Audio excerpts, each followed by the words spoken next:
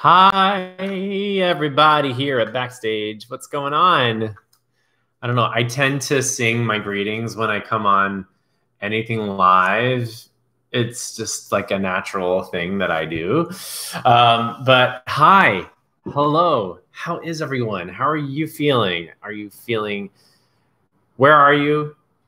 Type in the chat. Let me know where you're joining in from, how uh, you're feeling today. I'm so excited to be back. I have not been here at Backstage in a while. It's been about six weeks. And for those of you that don't know me, hi, I'm Bret Shuford, Broadway actor and the Broadway life coach. You might have seen me in Broadway's Wicked, Beauty and the Beast, The Little Mermaid. I've also been in major motion pictures like The Wolf of Wall Street. And I've done television and film work as well in um, independent films and also Law and Order, SVU, The Good Fight and um, and so I and I've done a lot of commercials. So for those of you who don't know, I'm an actor, and I also work as the Broadway life coach. I love to help actors navigate uh, their reputation. How do you build a reputation in person and digitally online? And um, there's a lot more ways than we think we can do that. And I love to help empower you to find those ways and that's why I'm here. I'm just going to say um, hello to those of you coming in California, Canada, Toronto. Hello. I definitely learned being on tour not to say Toronto, it's Toronto. Um, hi, New York. What's up, New York? Last time I think I checked in with you guys, I might have been in Pittsburgh and I'm currently in Houston. So, what's up, Atlanta? What's up, LA? All right, Bret with one T. Yes, I never meet a Bret with one T. So, hi, Bret. Nice to meet you. What's up in Atlanta? Like I said, I'm in Houston. I've currently been here for about a month. I'm here for the season. And, and I actually, interestingly enough, just got an agent here, which might be the, my next live how to get an agent in, a, in another market. Um, so, as I said, I've had all of these Broadway credits, and I uh, but I, I, also have always been very driven to do and create my own work. So I've made a lot of viral YouTube videos. Um, if you haven't followed my YouTube channel, and I love producing, creating work. I'm also a director. I've directed musicals and um, stage productions and and video as well. But one of the things I really found helpful that for, for PR reasons and for creative satisfaction was creating my own solo show. In 2015, I think it was, maybe it was 14, um, I created a show called Charming, A Tale of, of an American Prince. Now, when I say solo show, I'm specifically going to talk about a musical cabaret type show, but the same rules apply for people who maybe want to do a solo show that doesn't require music. Um, so there's a there's definitely crossover here. But what I experienced was I created a show, and when I created that show, I was able to book that show and get press uh, around the country. I performed it in New York, of course. I performed it in Orlando. I performed it in Anaheim and Laguna Beach and in uh, downtown LA. I performed it in Houston. I actually ended up getting booked to perform my solo show on a Disney cruise ship uh, two years ago. So this creating a solo show may feel daunting for you and i'm and hopefully today by giving you four steps to create a to create your own show i'll help you break it down so it doesn't feel quite as daunting but the reason why i think it's important to talk about this now is that for for anyone who's a live performer um, anyone who's a live performer right now theaters aren't going to be bringing in huge, massive casts. It's just too dangerous, right? It's too dangerous uh, of a risk for them, and um, and it's going to be a lot more easier than, for them financially to produce or create uh, experiences for their audience that are smaller casts. And so you could do a huge favor for theaters if you're in a, a lot of you are saying hello in a smaller market. You could do a huge favor to the theaters in your area by offering to do your show. Now, we'll get into like the business side of that. That means that you probably wouldn't make a full week's salary. You would probably do one night of performing. But so I want you to just have that in, in your mind. But you could do several one night performances, it would be a concert. It wouldn't be under equity jurisdiction in that way. Um, so there's a lot of business stuff that goes along with that. But uh, it's a great time right now when we're all still sort of in quarantine. There's not a lot of auditioning happening to take that idea, which I have a feeling you've all had an idea, and really start to put pen to paper to make it happen. So, what I would suggest, step number one, is literally just make a list. Make a list. So, if it's a musical, for me, I, I love to sing, so I would choose a musical version. Make a song list down 17 to 24 songs that you love to sing. Now, as you write this list, I want you to think about songs you love to sing, not necessarily songs that you sing at auditions and songs that you um, that you feel like audiences would love, but songs that you love to sing, the songs that light you up. If you're wanting to create a show that is not a musical, create an outline what are the stories that you want to tell? Let go of how they're connected or if, how you think they're supposed to be connected or if you think they're supposed to tell. Let go of any of that and just make a list. We're going to make an outline. These are the stories that I think are relevant, um, that would be entertaining. Uh, we all have told stories over the years that even if right now they're not connected in your head, they're stories that you love to tell. How can you put them into uh, an outline? So literally, it just starts with a list. Okay. Step number two, and you're gonna, I don't want your head to explode. You're gonna pick a date. So you got the list, and then step number two, you pick a date, and that might even mean a date that you perform this for someone or a group of people. So I once you have that list, you need to have a deadline.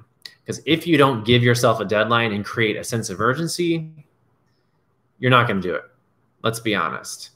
When we have to self motivate and we don't have accountability, it's going to be a lot harder to complete this. So pick a date, call someone you love, call someone that uh, a theater you've worked at in the past, uh, a venue you've performed for, or even someone who's hosting virtual events online that you love and and and have a great strong relationship and say hey is there a time in october is there a time in november uh, that you could put me down for my show yeah once you have that date then then you can start to sort of like lighting the the ignition on the dying of the what the fuse right we're lighting the fuse now, that means that uh, even if you have a date on the calendar and you only have an outline, your show isn't done, and that's okay. Because here's the thing I learned when I performed my show the show is never done. When it's your own show, especially a solo show, you're always going to be making adjustments. Even when you're performing it live, sometimes an audience isn't going to react. Every audience isn't the same, Is it going to react the same way. So knowing that it's going to be always be a work in progress should give you a sense of relief to just continue to move forward and not let perfectionism be the enemy of good. I talk a lot about perfectionism and the mindset and and what we need to do to continue to pursue this business especially during this time. I talk a lot about that in my free Facebook group. So if you guys want to join that group, it's the Broadway Life Coach group on Facebook. Come join the conversation. Um, I want to help support as many people during this time as possible. And that's the way that I'm doing that. So we talk about this mindset, this idea of perfectionism, whatever our concept is, whatever we think perfectionism is, and, and knowing that when we get caught up in perfectionism, we're actually just preventing us from getting it done because the thing is, it will never be perfect. That's what makes us human. That's why people love live performance because they're witnessing human beings, and human beings are innately not perfect. If people want to see perfect, they would watch robots. and you're not a robot. Allow people to allow yourself to let people vulnerably see who you are as a performer. And there's nothing more vulnerable and empowering than doing your own show and telling your own story. All right, so you've got your outline, you've got your date. The third thing you want to do is now go through that outline or that list of songs and notice any themes. And when I say themes, like what are the general values of those songs and those stories? And are there any connections? For me, when I created my first show, I was thinking how much I love Disney. I just love Disney. And I thought, um, so I have a lot of Disney songs. I had, uh, and then I started thinking about princesses. Disney princesses get lunch boxes. Disney princesses get uh, t-shirts. Where are the princes? There's no. Where are the Disney princes? Right. Besides some Instagram fan sites, there's no. They, when did when do they get their due? And so I noticed I had all these Disney songs, but then I started to notice the the uh, where are the princes? Like there was a theme around Disney and princesses and princes, and I was like, oh, what if I create a show themed on princes. And as I started to, what I what you'll start to do is you'll start to go, okay, here's the theme.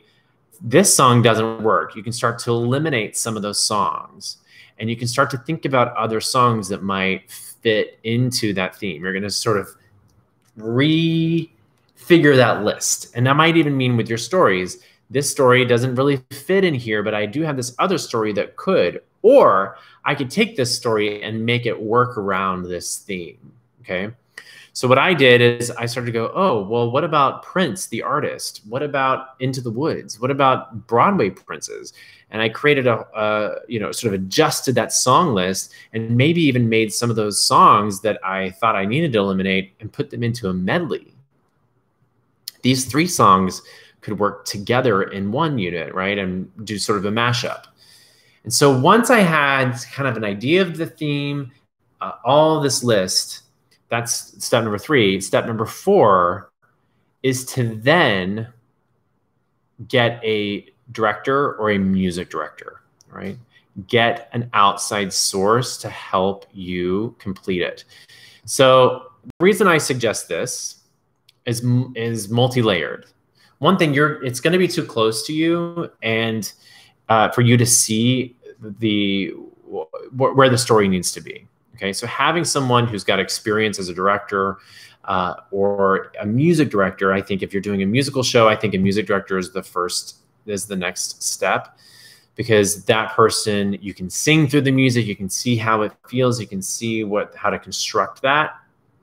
But getting an outside point of view is going to help you. The other thing that does, and I want you to think about if you're hiring or, or you know you will spend a little money on this right you want to invest a little bit if you can to have someone help you even just on occasion because having an outside perspective can help you thread the songs, thread the stories, and put them together in a, in a sequential order. The other thing this does is if you have a director or someone who's connected to other theaters and other um, who have experience, right?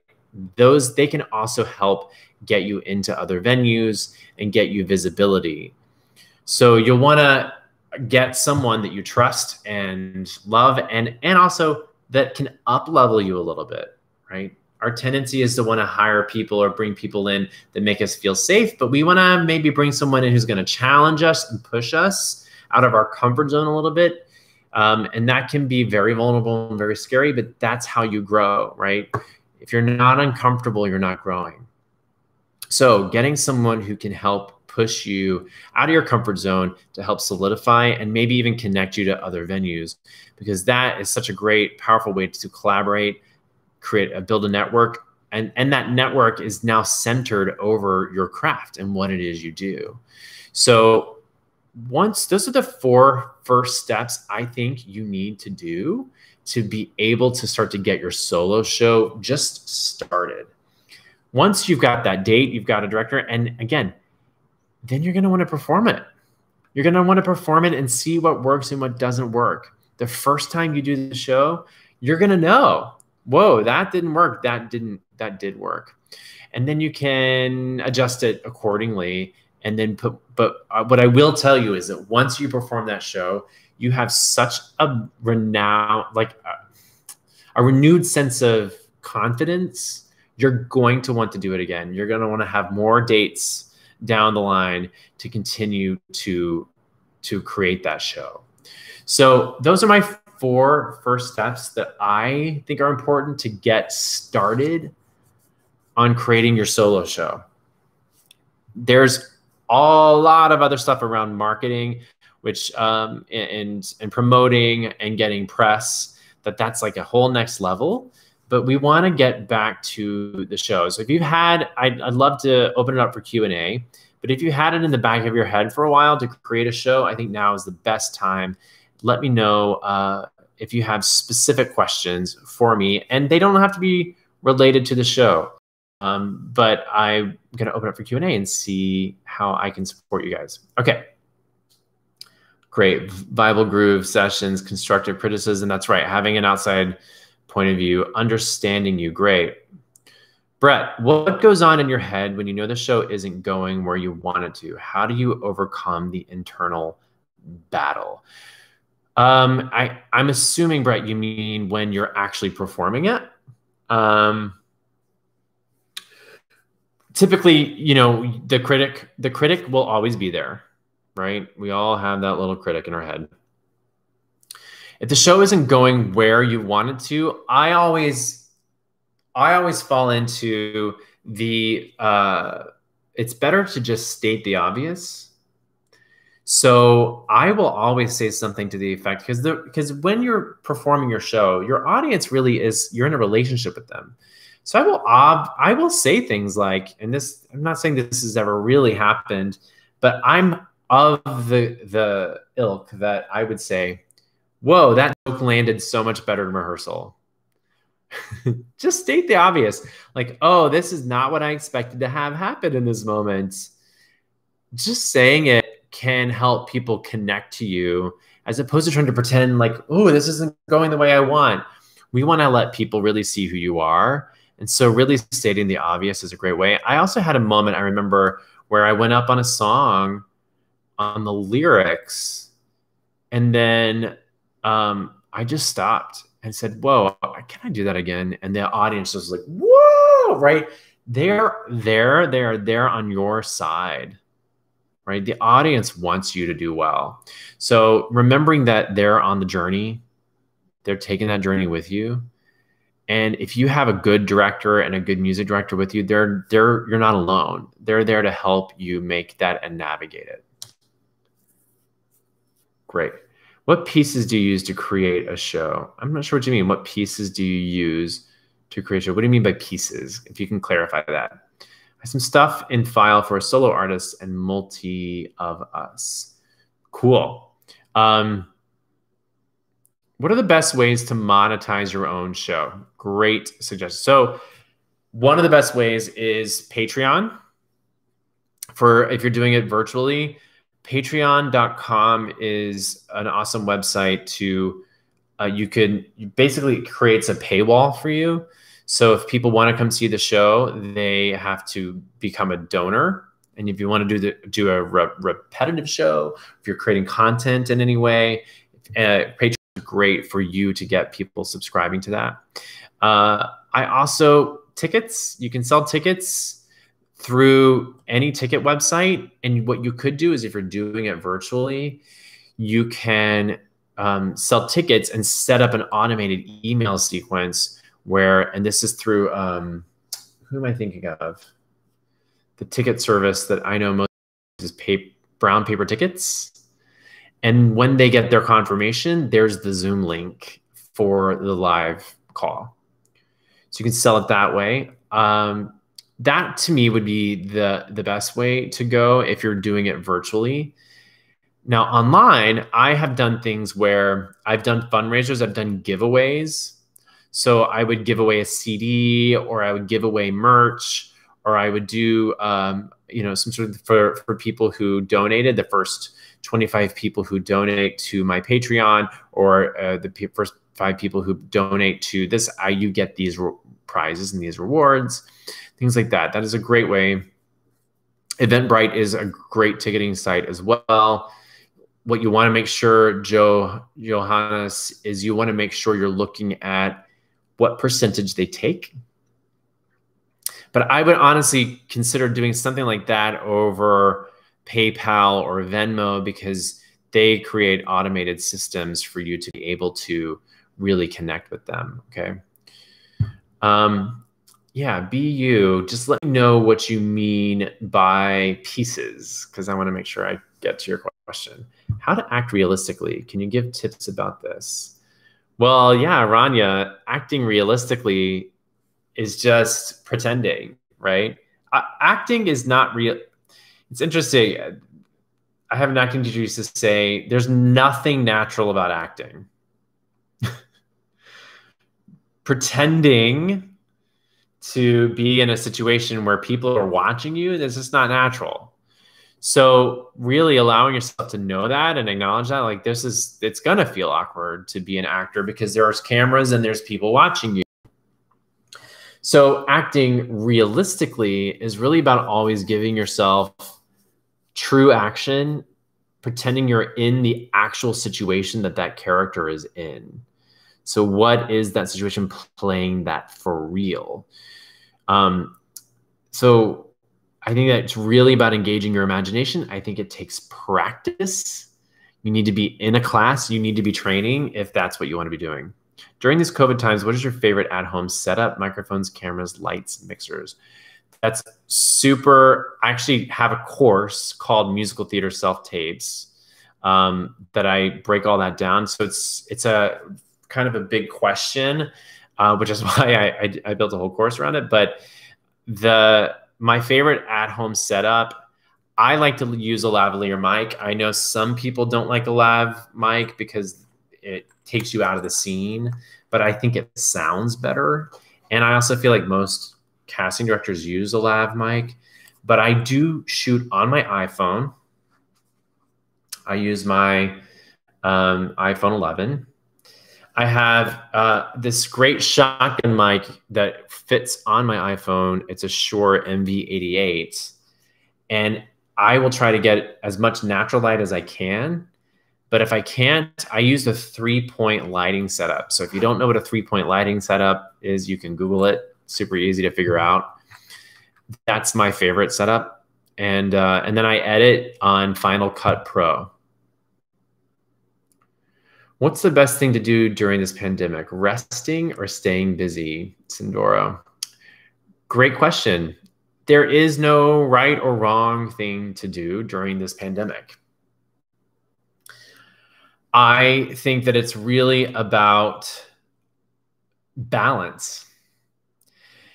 This moment is really about balance, resting and um, staying not, I wouldn't say busy, but staying active, taking small steps towards what it is you want, and not necessarily what you want in the business, but who you want to be as a person. And that means balance. That means when you start to feel overwhelmed, which we're all experiencing, uh, especially as November approaches, we need to be uh, taking advantage of scheduling time off scheduling days off where you can rest and recharge and refill your your spirit or whatever you want to call it. Oh, Brett, great. I'm glad that helped. Um, what's the best thing to do during this pandemic? Yeah. So I would say you want to find a balance. Rania, great question. How is your? What is your method to memorizing a script? My method is old school repetition repetition, repetition, repetition. It's not the most fun, but the the more you read it out loud and maybe even have someone help you, the quicker I find for me it helps to memorize. Also, letting go of perfection, right? We come back to this theme of letting perfectionism be the enemy of good. A lot of times, especially in an audition, they're not going to be that critical of you saying the lines verbatim, right? It depends on how much time you've had. You want to be prepared, as prepared as you can be, because there's always going to be somebody more prepared than you. But you want to let go of any perfectionism that you might have around getting every single word right. Brett, come join me um, in my free Facebook group, BroadwayLifeCoach.com. Um, techniques for performance anxiety. Oh, good. So, tips. Oh, sorry. Yeah, Sindoro is part of the, uh, my Secure Actor project, which is also free. So, secureactorproject.com. You can enroll, and it's totally free. And that's a great way to learn about everything we have going on over in there. Okay. So, techniques for performance anxiety. Sure. So, I am a huge believer in writing journaling. If you could see my desk, I have like five notebooks. If I don't take what's going on up here, and this is hopefully true for you as well, and get it out of my head, it will live in here and it will fog up everything I'm trying to do. So, step number one is get all of the junk that's clogging up your brain and your creative flow and your your desire to do well, which is you know, typically not great things that are being said in your head and get it down on paper so that it no longer lives in here. It has a like physical manifestation. So step number one, journal. And it doesn't have to be like I'm journaling, I'm doing a diary every day. Just stream of conscious. Okay, these are the thoughts that are happening. Get out of your head so you can get really clear about what it is you do want. Okay. That's step number one. And step number two is a mantra come up with a mantra, something that is going to help you feel secure in the moment. Because typically, if we're having anxiety or fear, we're thinking about something that might have happened in the past. So we're living in regret, or we're thinking about something that could potentially happen in the future. So we're living in fear, right?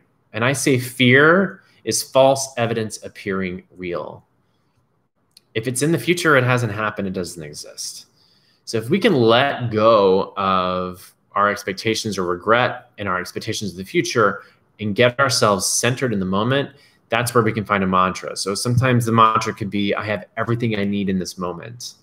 Sometimes the mantra can be, I deserve happiness. I deserve to do well, right? Sometimes it's, I'm letting go of my perfection and, and being a human being, right? Whatever that is. And you want to repeat it, repeat it, repeat it, repeat it until you go into the audition room or on stage. And uh, your your your mind is a computer. And if we don't program our computer it's going to program itself and it's not always going to program it the right way.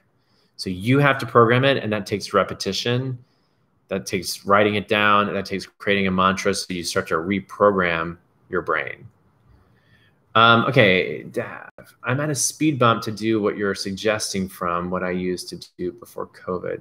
I'm a singer. I play guitar about 175 gigs a year at pubs, bars, festivals, corporate events, etc. I also do VOs. How do I turn it into a show? Yeah, great question.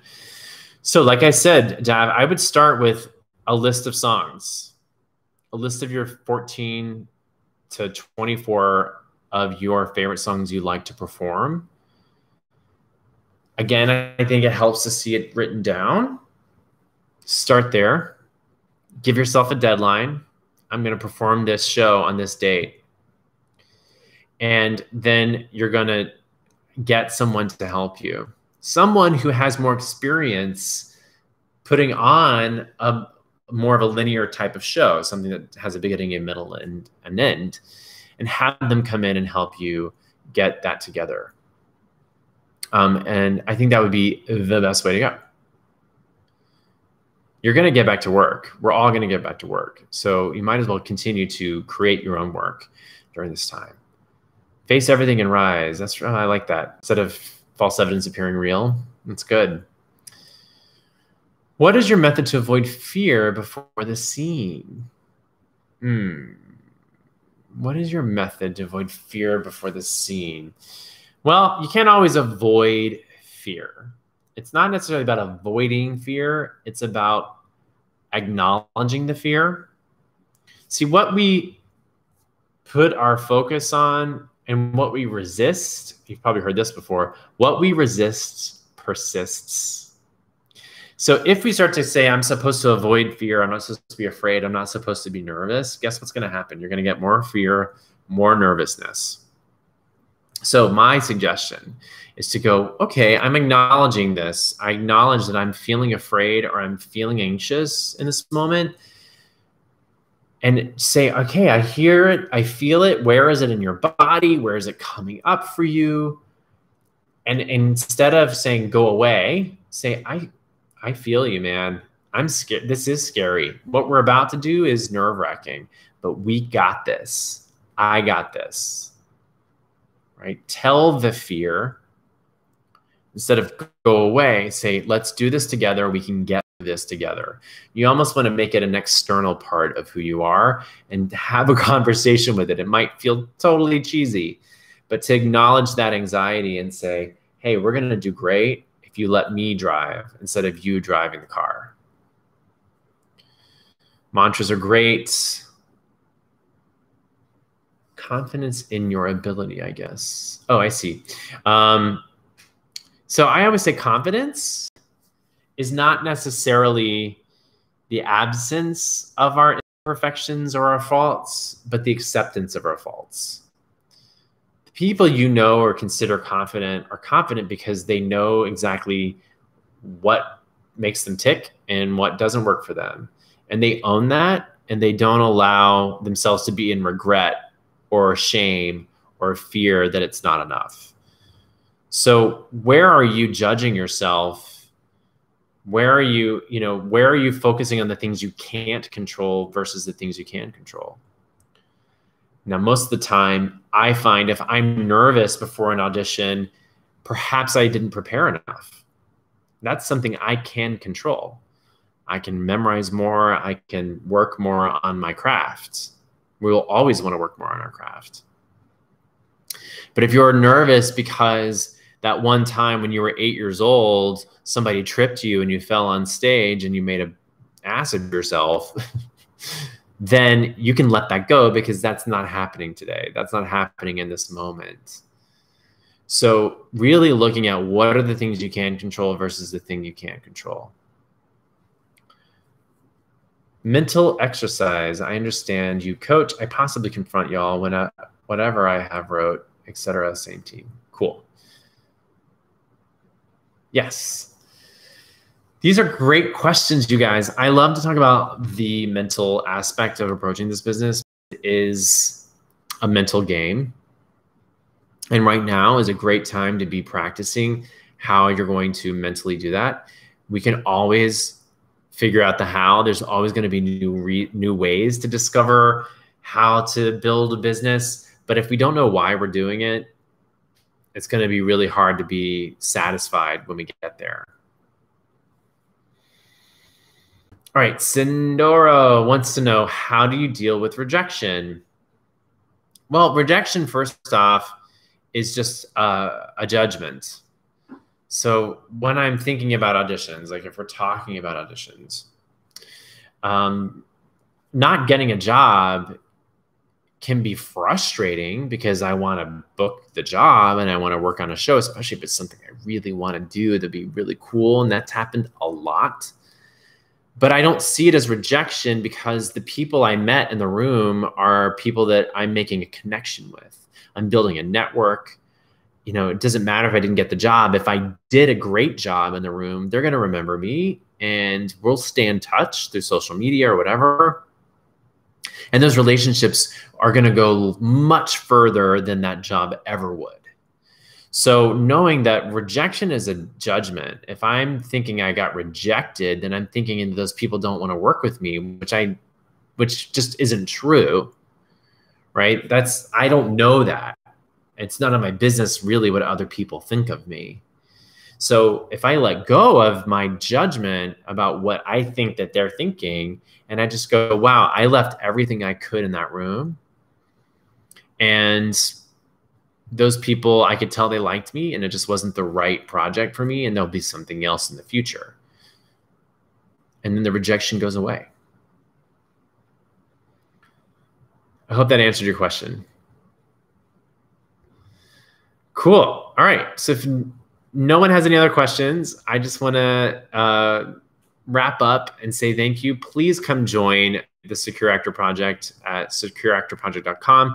We uh, took a break this month, but we are picking back up in October with some exciting new guests and some exciting uh, new events happening in that group. I will be back here on Backstage Live in October.